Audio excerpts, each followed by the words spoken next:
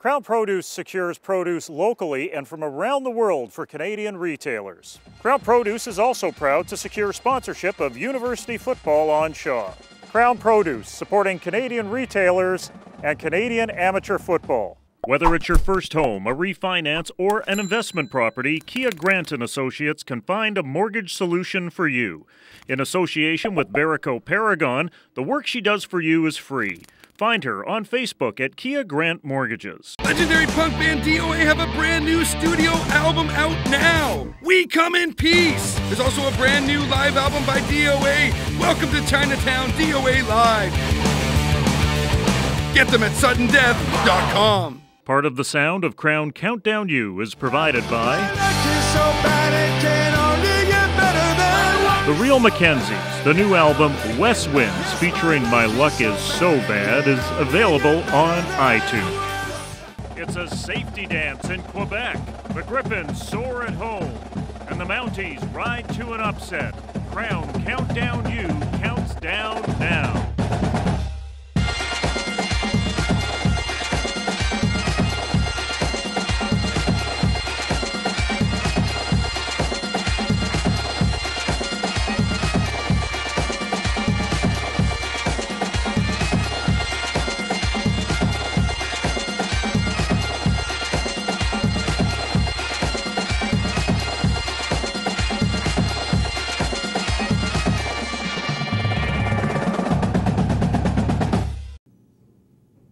Everybody, welcome to Krown Countdown U. I'm Ryan Sullivan. This, of course, Andrew Wadden. I know what you're thinking. Hey, those guys got some new haircuts, and they are ugly. Yes, we are. You know what else is ugly? The relationship between a couple juggernauts in Quebec. However, that relationship is always very one sided, of course, Laval being the champions. And this week, the only thing that was missing when they entered into Peps was Little Wayne and Justin Bieber by their side. We start with the most exciting play in football, ladies and gentlemen, the safety. There were three of them to open this game, but due to the wow factor, we're just going to show one. We don't want to overdo it. Shift to late in the second Q. Laval lining up for a field goal, but it's shanked badly. Antoine Pernot takes it from his own end zone, gives two defenders the shimmy shimmy yeah, and he gone. Takes it all the way to La Maison. That's a 119 yard return. Pernot is quite pleased with his efforts. It's no safety. Third Q, Laval start to roll. Tommy Barassa finds some real estate and bust out for a huge gain. The Laval move inside the Carabin 10. Pascal Lochard loses control of the handoff. Montreal pounce on the pigskin. A massive turnover for the boys in blue, but can they do something with it? No, well they can't. Montreal goes two and out, which forces them to punt, and it results in this tragedy for the Carabins. Laval with some sweet field position, and they make it work for them. Grenon fires this bullet right into the arms of Felix Faubert Lussier. The men in black take the lead. It's now 10 to 9. Under three minutes to go. Montreal deep in its own zone. Cousineau under pressure tosses the ball right in Maximilian's hands. The man with the fantastic first name with the thievery. The Coos is choked, and he should be, as Pascal Lochard makes up for his earlier fumble with this major. They fail on the two-point convert, so it remained a one-score game. Just a buck 30 left on the clock. Cousineau airs it out for Mikhail Davidson. MD with a massive gain, putting Montreal into Laval's territory. So with the ball now on Laval's 20, Cousineau feels the fire, the ball gets knocked loose, and the Rouge et Or scoop it up, and that would be the ball game. Grenon tosses close to 150 yards, connecting on 14 of 25 passes in the one major. Rasa rushed for a game high 107 yards on 13 attempts. Montreal's Mikhail Davidson led all receivers with 99 yards on four catches. If you were a fan of the punt, well, this game was for you as both teams combined for over a thousand yards of punts on the day. Sherbrooke and the Redmen start things off with Felix Bautier Gagne making McGill look silly in their own barn. Where's this guy going? That drive would result in nothing, but Sherbrooke does strike first. Jeremy Doyon Roch skies one out for Kyle Gaillon Bissayon, and he is gone. 70 yards to the house. Doyon Roch just kept adding logs to the fire, fires. A few minutes later, he hits Gabriel Goulet. Bright cap and kettles, warm woolen mittens. It's 24-3 Sherbrooke at the break. McGill would make things interesting in the fourth, though. JP Paquette on the punt return.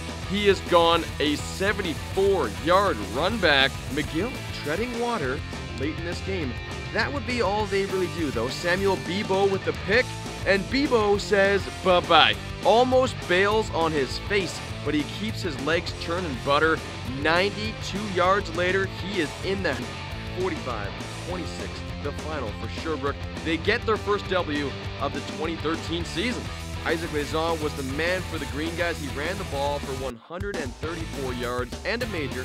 JDR with a pretty brutal day, actually, for numbers in the win, completing less than half his tosses for only 174 yards, two TDs, and one INT. For McGill, the dream season hits a bit of a speed bump. They now fall to 500. The bright spot, though, Stefan Osman on D, nine tackles, two forced fumbles. The man was a beast. The Vert et Or now head for Montreal, while McGill has a date with Concordia. Matthew Burke led the ground attack for Bishops, racking up 115 yards on 18 carries while scoring one major for the Stingers. Michael Harrington put in a good day's work, catching 10 passes for 130 yards. So take a glance at the big board in the queue, and you will find that Laval is alone at the top with a perfect 4 0 record. The Calgary Dinos have a hurt starting quarterback. Eric Dzwilewski, he broke his foot, he's done for the year. Manitoba Bisons have a Hec Crighton candidate in Anthony Coombs. The man is simply unreal. This should be a walk in the park for the Bisons, right? Out to beautiful Calgary, Alberta we go. Just a few minutes into the first, and Andrew Buckley hooks up with Brett Blasco. 91 yards of ground covered on this one. Blasco goes all the way to the house. We're not even three minutes in yet, and Calgary has 100 yards of offense on the board. That stat would be a little foreshadowing. Let's fly ahead to the second, and Andrew Buckley skies one out for Rashawn Simonise. He goes 56 yards to money land. It's the Vancouver College product's first touchdown in the CIS. It's 20 to 3 for Cowtown, and Calgary not letting off the gas. Buckley hits Dobko for a gain of 35, and that would lead to this. He majors in business, he minors in goal lines. Dr. Goal Line himself, Mercer Timmis, chalks up his seventh TD of the year. Before the half's out, the Bisons would slow the bleeding just a tad. Yance hits Anthony Coombs from 21 out. He debates the celebration, realizes he's down by 24. Probably a good choice. Second half, not a better story for Doby's Tobies. Anthony Coombs loses the handle on their first possession. Calgary recovers it, and it leads to this. Timmis takes the shovel pass from AB, and he is gone.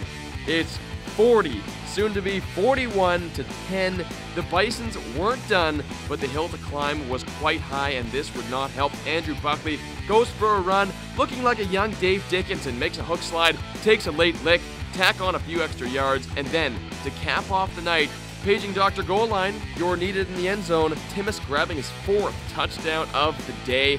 This thing is done. Over 1,000 yards of offense through the air in this game. The difference for Manitoba, the drop balls and the penalties. Both teams combined for nearly 300 penalty yards on the day. 181 of those belong to Manitoba. Calgary stays undefeated as they head for Edmonton to dance with the Golden Bears in Week 5. Over to Griffiths, where the hometown Huskies were turning the clock back to 1914. Just a couple of minutes in, Saski up by a safety. Drew Burko fires it to Dexter Janke for the touchdown. Huskies now up 9 0. Still in the first queue, Burko scrambles out of the pocket, has loads of time, hits Mitch Hillis, the younger brother of Kit, not to be confused with the car from Knight Rider. That's the youngster's first CIS touchdown. The G Bears would add a field goal to get on the board, and then follow it up with this. Ed Ilnicki gets ill with it. That's a 60 yard major. Shift to the fourth queue, and if the game wasn't already over, well, this would make it official. Shane Buchanan with his second major on the day. Burko with just another day at the office, tossing for 373 yards, connecting on 32 of 45 passes. plus, of course, those two majors. UBC, 500 now on the year. They waltzed into Regina and tangoed out with a 37-27 win. All right, let's take a look at those Canada West standings. Calgary, yep, they are for real. It is official. They are 4 and 0 behind the likes of Andrew Buckley. Saskatchewan, 3 and 1. Manitoba is 500 along with UBC. And my sleeper is still asleep. Regina, they are 1 and 3. All right, back in 2008, the number one song on Ryan Sullivan's iPod was Katy Perry's I Kissed a Girl. However, it was also the last time McMaster lost three games in a season. Steph Ptaszek's boys have absolutely owned Stu Lang's Gryphons, not having lost to Guelph since 2007, probably the last time Ryan had a date. Gryphons got a big boost as OUA second team All Star from last season. Rob Farquharson returned to the lineup, and he would have a big day. However, more on that later. Guelph was on the hunt early. Curtis Newton welcomes Josh Vanderweerd to homecoming. JV gets lit up like a Christmas tree, Mac would be the ones to light up the scoreboard first. The rain pouring down. Jazz Lindsay pulls it back from Farquharson, and whoop! Pigskin on the turf. Mac recovers. That would lead to a field goal. Less than 30 seconds left in the first cue. The bad snap almost gets away from Daniel Ferrero. However, he gets the punt off, but it's a weak one. Mac with some beauty field position. And they make it work for them with a little help too from the Zebras. Mike DeCroce lands it nearby Acton, but somehow he gets called in bounds. Fortunately for the Gryphons, Mac could only muster a field goal. The Zebras would make up for that miscue with yet another check the middle of your screen. Alex Charette is halfway to Fergus before the ball gets snapped. The entire squad of Stripes misses it. Charette knows he got away with one there. However, Mac wouldn't back down. Ferguson over the middle to Vanderweerd. My lord, he gets pop daddied by two Guelph defenders, but he manages to hold on to the biscuit. A couple of plays later, Brian Sullivan's favorite receiver, Danny Vandervoort, caps off the drive. Maybe a slight push off. Nonetheless, the points go on the board. Second half now, and the wheels start to fall off for Mac Pivot. Marshall Ferguson, as he looks sideline, plucked by Taylor Palmer, which leads to this. Jazz Lindsay takes it to the house, and now wait for it. Yeah. Didn't see that coming, Jazz. Very next series for Mac. Ferguson. Well, he gets plucked again by Palmer. His second thievery of the day, and fourth on the season. And the Gryphons make Mac pay for their charity. Ferguson waltzes in his first major of the year. Guelph scored twice on both the Palmer's INTs. Mac would add a field goal to cut the Guelph lead to eight. So with under two minutes to go, Mac in Guelph territory, but Ferguson gets picked again. This time, Tristan Dolan with the thievery. However, Guelph would go two and out, leaving Mac with plenty of time to even things up. So, down just a converted touchdown, Ferguson goes to work. First, he hits Dolan Brooks. The chains move forward. Ferguson then takes a lick but tosses up a prayer that Danny Vandervoort could only answer. Check out the incredible athletic prowess from the young first year receiver. Very next play, Ferguson finds Tyler Loveday. That's six more for the boys in white, but they still need to convert the two pointer to send things to overtime. And no, sir. Guelph finally snaps its losing streak to Mac, escaping with a 24 22 win. Farquharson with a mighty start to his 2013 campaign, rushing for 119 yards on 18 carries, scoring the one major. Jazz Lindsay was solid when he had to be, tossing for 173 yards on 17 of 27 passing. Marshall Ferguson's numbers were good. Those two picks in the third Q proved to be costly for his Marauders. Laurier hosting the Western Mustangs. This should be a blowout, right? Well, first cue, Will Finch gets picked. Felix Odom with the robbery. Momentum Golden Hawks. They would move the pigskin too. James Fracas hits Greg Nyhoff. Nyhoff goes 67 yards before being dropped. It would set up this Fracas QB keep though. Listen to the pageantry.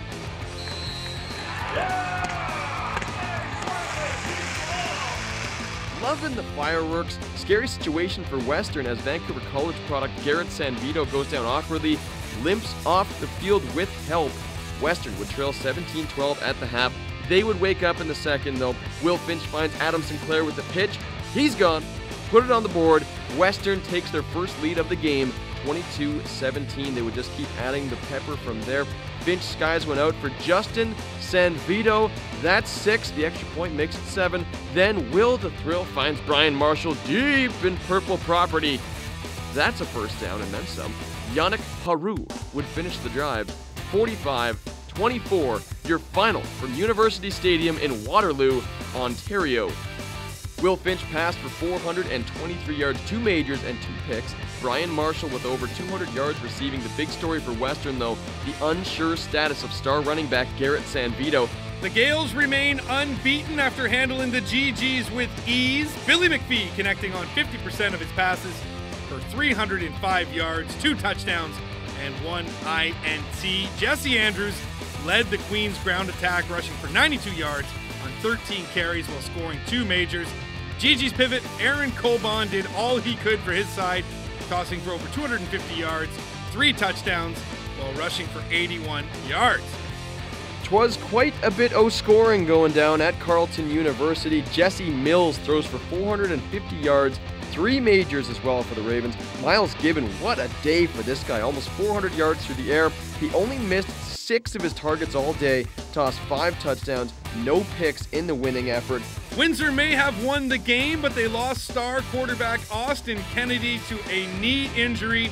AK was forced to leave in the third Q and did not return. Standings time now, and it remains a logjam at the top. Western holding down that top spot at 5 0, while Queens and Guelph are also unbeaten. If you happen to catch last week's episode, it was the first time in a long time that an AUS team almost cracked our CIS top 10. Very close. They didn't, unfortunately, but the hype is still built. Can Mount Allison and St. Mary's live up to it? the lush green grass at Mount Allison. Jack Creighton hooking up early with Melvin Abanqua. He goes for a nice trot after the grab. Easy points in the red zone, right? Well, not quite that easy. Creighton does find the handle and eventually Matt McGee. It's 11 7, Mount A. Brandon Leyh back the other way, hits Matt Rose. He goes for a pickup of 25 yards, Mount A in striking distance. It would lead to this storm ahead by Jordan Botel. Devontae Simpson picks Jack Creighton and takes it back 57 yards to the house. 29 15, Mount Allison, your final score from Sackville, New Brunswick. Each QB had a rough day at the office. Creighton and Leyh each tossing up three picks. X are no longer unbeaten after getting smacked at home by Acadia. Brett Backman had three interceptions for Acadia, including a 64 yard pick six that happened late in the fourth Q. Despite the loss, X still sits on top of the AUS standings. Acadia now joins Mount A and St. Mary's with a 1 and 2 record. Again, some fantastic action coming from the Merit. Katy Perry is a legend. Yeah, she's right up there with Hendrix and the Doors and, you know, Elvis and people like that. She is. Krown Produce secures produce locally and from around the world for Canadian retailers. Krown Produce is also proud to secure sponsorship of University football on Shaw. Krown Produce, supporting Canadian retailers and Canadian amateur football. Whether it's your first home, a refinance, or an investment property, Kia Grant and Associates can find a mortgage solution for you. In association with Verico Paragon, the work she does for you is free. Find her on Facebook at Kia Grant Mortgages. Now it's time for the three minute warning with the head coach of the Guelph Gryphons, Stu Lang, also known as the $1 a year coach. Stu, why are you doing this for a buck a year? Well, uh, well, thanks, Jim. Um, uh, I'm fortunate in that uh, I have the means to uh, to do this, but uh, my pleasure comes from seeing the passion and dedication and commitment of my players. Well, you're an aggressive recruiter. The whole program is. How important is it for you to reach out of your territory uh, to build a roster that's competitive in the CIS? Well, obviously we want to win the Yates, but more importantly, we want to win the Vanier. So that involves playing teams like Calgary and Laval and some of the great teams uh, outside of Ontario. So it's very critical for us to try to attract the best football players from across Canada. How have you been able to apply your business acumen to what goes on on the field and around the field? I mean, you've got more uniform combinations than Oregon, I think, these days. Well, um, I'm always uh, always been a big believer in best practices, trying to find you know companies or other teams that do things very well. So as everyone knows, uh, Oregon is something we uh, we copy. In fact, uh, we just added a, a, tempo system, which is a sound system that we're going to have on the sidelines to play music during practice. But in terms of business, the big lesson my dad taught me was to hire people smarter than you and then get out of the way. So I'm fortunate that I have three coordinators that are smarter than me, and my job is not trying to trip them up. Oh, it's funny. I try to do the same thing with this show as well. Uh, there's an order in the OUA, and Guelph was kind of out of that upper order. Uh, as you've moved up in the standings and in stature, have you tread on any toes? Uh, well, I, I, think we are. Um, we had a great year last year. In fact, it was the best record ever in the season, seven and one. But uh, we talk about sustained success here, and, and one year is not sustained. So uh, we've got to do this for a couple more years b- before we're considered one of the big dogs in the OUA. Yeah, one last question here. What are your thoughts on a national interlock of some sort? Because I know you went out to Saskatchewan at the start of the year last year, and it really set the tempo for the rest of your season. Uh, absolutely. Uh, we had a great time out there. It was great for team bonding. Uh, I may be a little in the minority. Obviously, with Carleton coming in the OUA, we don't play two teams already in our conference. Uh, so, uh, what I'd probably like to see is the opportunity to play one or two non or games that don't count, but allow us to play some of the other teams that we may not see ever in a player's career. So, uh, I'm sort of taking the middle ground on that. Stu, thanks very much for this. Appreciate your time and best of luck for the rest of the season. Great. Thanks, Jim. And that is your three minute warning.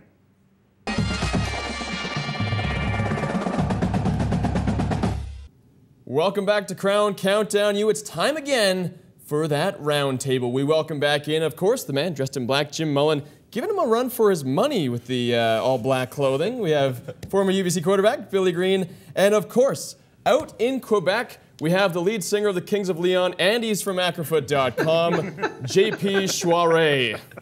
Welcome back, JP.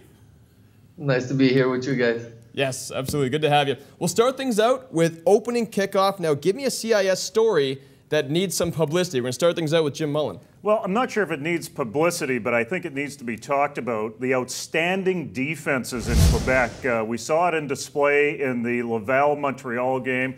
I know a lot of people that wanted to see explosive offense weren't getting it from that game. We warned you last week about that.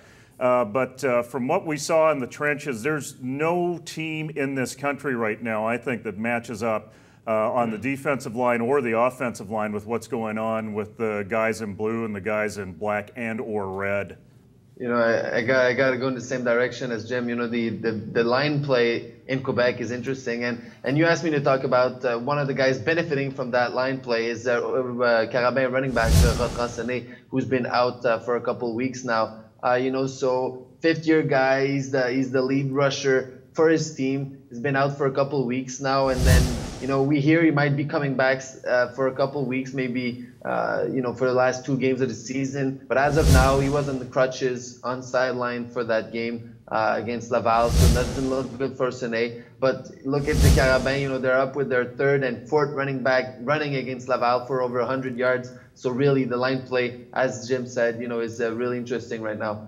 Covered the queue pretty well. Billy, what do you got? I'm going to talk about the city of Prince George. Uh, last year, Jordan Botel from Mount Allison burst on the scene, rushing for 1,000 yards. Great year. This year, Brandon Deschamps, also from Prince George. Uh, two of the better running backs, I'd say, ever from that city. Objectionable conduct time. Problems with the CIS this week. Start things out with Billy Greene. Regina running the ball five times. Uh, as a quarterback, you always like to throw the ball 55, 60 times a game, but you don't like to do it at the expense of only giving your running back five carries. Being that one dimensional is very detrimental to a team. As you saw, they uh, weren't able to pull out the win this week. They're one in three. Cayman Shutters leading the league and or the country in passing, which is great for him, but that team, uh, they they're not going to be able to be successful unless they establish some sort of running game going forward. Jim Mullin. Cayman Shutter will lead the universe in passing this year. This Break records. Uh, make uh, conceded safeties worth three. I complained about it in the uh, Canadian Football League. They moved the kickoff back to the 20. Big deal. Uh, we saw it in a couple of games where the offense was taken out of the game by teams conceding a safety, giving up two points. There's two and a half minutes in the middle of it where you have to sit and wait for them to tee up a kickoff. It is non entertainment. It actually, even though it puts two on the board, it takes three off the board or even seven off the board. It takes the reward away from the defense. Two points is not sacred for a safety. At one point, touchdowns were worth five points. They upped it to six. You can up the safety to three points, and you can take that stupid vision of seeing a kicker run around an end zone like a duck to give up two. I gotta go with injuries. Uh, right now in the queue, you know, it's a, a, big factor. You know, top teams, Laval lost their star receiver, Matt Norzil, for a long time. Lost uh, their top defensive tackle, Jean-Alexandre Bernier, for the season. Thomas Girard in the as a DB out for the season. O lines, Montreal lost three O lines out of their starting five so far. Their top two running backs.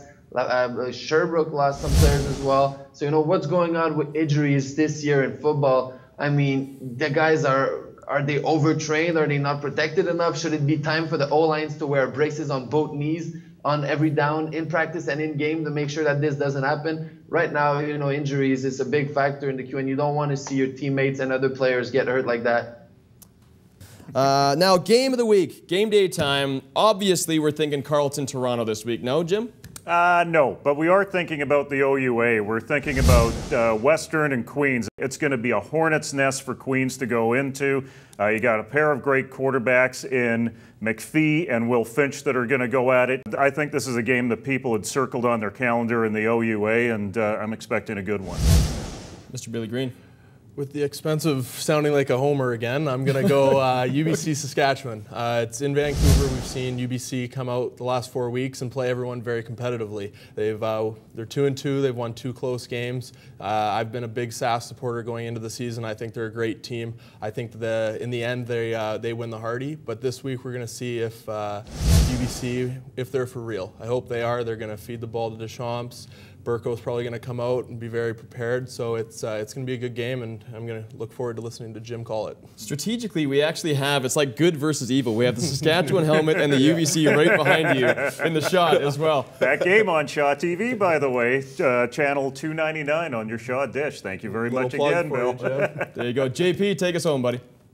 So Billy talking about his alma mater. I'm gonna talk about mine. You know, Sherbrooke playing Montreal in Montreal this week. Sherbrooke, you know, been part of the Dunsmore Cup but twice in the past three years, and right now, you know, at one and three, it's a make or break game for them. You know, if they lose this one, they might be they might be off of playoff contention. Uh, taking in consideration that they're playing uh, at Laval and hosting Montreal in their past two three games. So huge game for Sherbrooke and Montreal. They have something with Sherbrooke. They just can't get over that hump these past couple of years. So that's uh, that's going to be a big one in the queue. There you go. And thus concludes another edition of the Roundtable. I'd like to thank Jim Mullin, Billy Greene in studio, and listening to his iPod and not us, JP Shoiry over in Montreal. Thanks a lot, JP. Greatly appreciate it, bud. There we go. That yeah. concludes another episode of Krown Countdown U. Now stay tuned right now for the CIS Top 10. Andrew Buckley culls the herd, dropping them to 10. McMaster hangs in at number 9 despite being 2 and 3. Bishops and Jordan Heather at 8 with a bullet. Saskatchewan is stable at 7. Guelph with a win over Mac holds at 6. Calgary looks for real in the C dub. That gets them 5th. Montreal's loss doesn't cost them. They sit at 4. Queens at number 3 can move up with a win over number 2, the Western Mustangs in London on Saturday. And number 1, Laval, who survived the Quebec Civil War, Thanks for watching Krown Countdown U as Countdown has Countdown.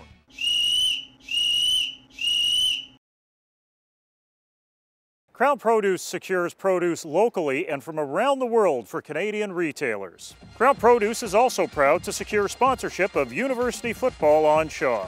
Krown Produce, supporting Canadian retailers and Canadian amateur football.